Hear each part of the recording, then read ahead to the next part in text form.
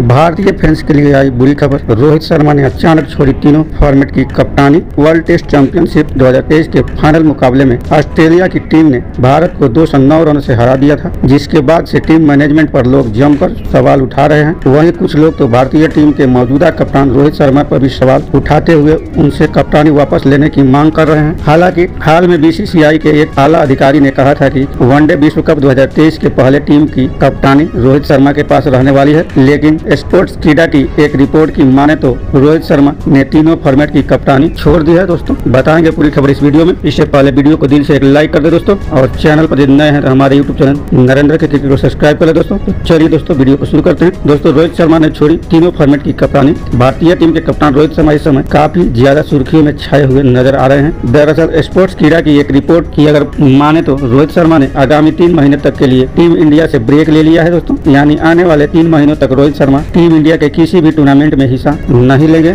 ऐसे में जुलाई में होने वाले वेस्ट इंडीज दौरे पर तीनों फॉर्मेट के सीरीज़ के दौरान रोहित शर्मा नहीं, बल्कि कोई और खिलाड़ी भारतीय टीम की कप्तानी संभालेगा। सूत्रों की माने तो Rohit Sharma world test championship 2023 में भारत की मिली हार के वजह से काफ़ी ज़्यादा दुखी है और यही वजह है कि वो एशिया कप और विश्व कप जैसे बड़े टूर्नामेंटों में किसी भी हाल में हारना नहीं चाहते हैं और इसी वजह से उन्होंने ब्रेक लेकर एशिया कप 2023 और वनडे विश्व कप 2023 के लिए खुद को तैयार करने का फैसला किया है दोस्तों, कब होगी वापसी? रोहित शर्मा के ब्रेक लेने से कई सारे फैंस नाराज़ हो गए हैं, लेकिन आपकी जानकारी के लिए बता दें कि एशिया कप 2023 के दौरान रोहित शर्मा भारतीय टीम में वापसी कर जाएँगे और एशिया कप के दौरान भारत की कप्तानी की ज़िम्मेदारी रोहित शर्मा ही निभाएँगे। इतना ही नहीं, पाँच अक्टूबर ऐसी शुरू हो रहे वनडे विश्व कप 2023 में भी भारतीय टीम की कप्तानी रोहित शर्मा ही करने वाले हैं। आपको बता दें कि क्रिकेट के प्रशंसक रोहित शर्मा के ब्रेक लेने वाले फैसले से काफ़ी ज़्यादा खुश हैं। तो दोस्तों, आपका क्या कहना है रोहित शर्मा के तीन महीना के ब्रेक लेने पर? अपनी राय कमेंट बॉक्स में बताइएगा और वीडियो को दिल से लाइक कीजिएगा और हमारे यूट्यूब चैनल नरेंद्र के क्रिकेट से नहीं जुड़े हैं तो जुड़ जाइए। वीडियो को अंत तक देखने और अपना बहुमूल्य समय देने के लिए दोस्तों, आपको दिल से धन्यवाद।